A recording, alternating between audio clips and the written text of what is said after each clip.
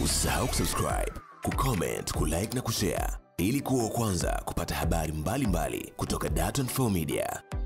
Mheshimiwa Kingi, jiandae Mheshimiwa Silo. Asante Mheshimiwa Mwenyekiti. Mheshimiwa Naibu Spika, Mheshimiwa Naibu Spika, cha kwanza namshukuru Mwenyezi Mungu kunipa hii nafasi na uwezo wa kusimama hapa, lakini pamoja na wewe kunipa nafasi hii kusimama hapa. Mheshimiwa Naibu Spika, kwanza nilikuwa nizungumze kidogo kwa rafiki yangu Mwigulu hapa.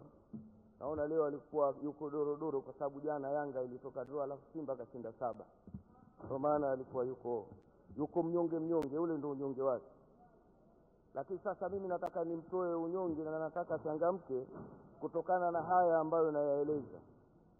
Mheshimiwa Naibu Spika, kwenye paragraph ya thelathini na sita katika hotuba ya Mheshimiwa Waziri ameelezea pale huduma za pensheni na mafao ya watumishi, ambapo kwenye randama tumekwenda kuangalia katika fungu namba ishirini na tatu ambayo idara ya mhasibu mkuu wa serikali kwenye pensheni, mimi nina hoja mbili. Hoja ya kwanza, wazee ambao washastaafu wanapata tabu kupata pensheni zao na kupata vinua mgongo vyao, hususan wa kutoka Zanzibar. Hawa wa kutoka Zanzibar kwamba ni lazima wafunge safari waje zao Dodoma ili kuja kupata mafao yao, lakini pamoja na hayo wanakwenda wanarudi, mafao yale hawayapati. Mwisho kinachotokea wanafanya maamuzi ya kusamehe. Kwa maana hiyo, naweza nikasema kwamba Wizara ya Fedha inawadhulumu wazee wetu wastaafu wa Jamhuri ya Muungano ambao wanaishi Zanzibar, kwa sababu baadaye mwisho wanaamua kusamehe. Mnayo majina hapa, na mimi mwenyewe nimeshughulikia kesi hizi moja baada ya nyingine. Kuna jina la mzee Muhamed Sefu Masaa ambaye ni marehemu, urithi wake unashughulikiwa na Mbipili Ramadhani Saidi. Huyu nimekuja mpaka nimegonga mwamba, mpaka leo mafao yake hajapata. Lakini kuna Bizuleha hajapata, kuna Biruzuna, hawa wote nimewaleta mimi, nimewaweka hapa Dodoma, hawakupata. Tatizo liko wapi, mheshimiwa? Mikoa au kanda zote kuna ofisi ndogo ya hazina, lakini kwa nini Zanzibar hamweki ofisi ya hazina kuondosha huu usumbufu? Ingekuwepo ofisi ya hazina, hawa watu wangelishughulikia kule kule, ingelikuwa ni rahisi. Kwa hiyo tunawatesa wazee na tunawadhulumu pesa zao. Lakini mheshimiwa, mimi naahidi hapa, nitaendelea kuwafuatilia hawa wazee. Na mheshimiwa, angalia sana katika mfuko, katika pensheni, angalia sana katika sehemu hiyo, watu wanadhulumiwa. Cha pili, hoja yangu katika mfuko, katika, katika, katika, katika, katika, katika kwa mwatibu mkuu, tulitembelewa hapa na jumuiya ya wazee wastaafu. Jumuiya ya wazee wastaafu wana malalamiko mengi, yanafika hata thelathini, lakini kubwa wanalosema kwamba pensheni zao wanalipwa sio kwa mujibu wa sheria. Sheria haifatwi, sheria ya PSSF haifatwi, na ile nyongeza iliyotoka hazina nayo pia haifatwi. Kwa maana hiyo wazee wanadhulumika. Ombi lao wanasema, Mheshimiwa Waziri, uunde task force uwasikilize malalamiko yao usipounda task force hawa wazee nao wataendelea kudhulumiwa. Mimi na mfano mmoja, kuna mzee mmoja alisema alipo pensheni ndogo, tukazungumza na maofisa wako, siku ya pili alipewa pensheni inayostahiki na akapewa malimbikizo yake.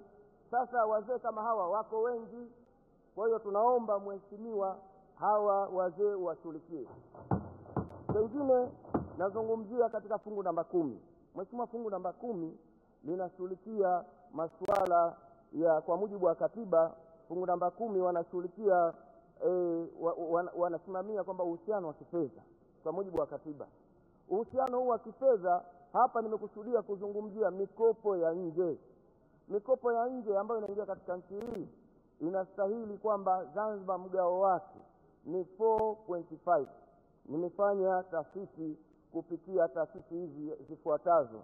Kwanza, moja, kupitia wizara ya fedha yenyewe, IMF, World Bank, African Development Bank, Tanzania Coalition on Debt and Development TCDD na taasisi nyingine, nimegundua kwamba hata asilimia mbili Zanzibar katika ile mikopo ya kutoka nje hapati, na mikopo ya nje ni sekta ya muungano. na ukitaka kujua kama ni sekta ya muungano akikorofisha zanzibar mkopo unazuiliwa. Kulikuwa kuna mkopo hapa wa mtc ambao ulikuwa unakuja kwenye rea lakini ilivyotokezea vurugu kule zanzibar mkopo huu ulizuiliwa kwa sababu mkopo ni muungano.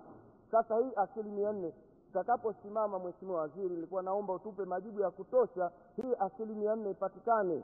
Lakini chengine nimefanya utafiti kupitia ms mheshimiwa sasa hivi ni kigezo kipi kinatumika katika kupata mikopo zanzibar? Nimeona dokumenti ya tanzania kwenye ims kwamba mnatumia financing gap ili kufinance au kupata mikopo ya nje. Finance gap ya mwaka elfu mbili na ishirini na moja elfu mbili na ishirini na mbili ilikuwa mia nane na sitini na sita sasa je tunatumia financing gap? Hiyo financing gap mnachukua na financing gap ya zanzibar? Au mkisha kutumia hiyo financing gap kwamba mnatafuta 4.5 na hapa tutizame hiki kigezo kimewekwa tokea mwaka tisini na nne wakati wa mzee malikela katika tume yake. Sasa je bado ni valid kibakia hiyo hiyo 4.5 na sasa hivi kuna variables nyingi sana zimebadilika. Mheshimiwa mwigulu utakapokuja hapa nataka unipe ufafanuzi katika swala la hili 4.5 katika mambo mawili. Je ilikuwa ikilipwa kwa mikopo yote? Kwa sababu kuna mikopo ya basket fund tunajua haiwezi kuhusika. Lakini cha pili je hii rate ya 4.5 ni valid? Mbona mkenda imf mnatumia financing gap? Nilikuwa nataka uje utupe ufafanuzi. Kama hatukupata ufafanuzi sisi wabunge ambao tunatoka upande wa pili kule hatuwezi hapa kuomba maji hatuwezi kuomba elimu hapa hatuwezi kuomba afya. Tunashughulikia huu uhusiano. Kwa hiyo uje utuambie uhusiano huu ukoje na ilikuwa kinini kinapatikana katika uhusiano huu? Kipi kilistahili kupatikana katika uhusiano huu? Lakini je bado fakta hii ipo? Na mnatumia sasa varabu zingine kwenda kukopea. Sasa tulikuwa tunataka mheshimiwa uje, uje utupe ufafanuzi. Kama sitoridhishwa na majawabu yako mheshimiwa nimekusudia nikamate shilingi. Mheshimiwa nitakamata shilingi kwa sababu tupate ufafanuzi hakuna uwazi katika hili. Mheshimiwa kuna mikopo ilitoka ilikuwa inashughulikia itatoka World Bank ilikuwa inashughulikia masuala ya utoaji wa haki. Zikajengwa mahakama Tanzania nzima lakini mkopo ule wa World Bank kule Zanzibar haukufika. Kuna mikopo ilikuwa ikishughulikia kutatua msongamano katika miji mikuu. Msongamano ule tukajenga madaraja maeneo chungu nzima mkopo ule kule zanzibar haukwenda. Lakini pia katika hii rea tunazungumzia portion ya rea tunatoa fedha ambazo nyingine unachangia kutokana na tozo wa mafuta. Lakini nyingine tunachangia kutokana na mkopo. Kama mkopo unatoka nje na ukuja kwenye basi. Mheshimiwa Mheshimiwa mheshimiwa Siro, jiandae Mheshimiwa Ruben. Usisahau kusubscribe, kucomment, kulike na kushare ili kuwa wa kwanza kupata habari mbalimbali kutoka Dar24 Media.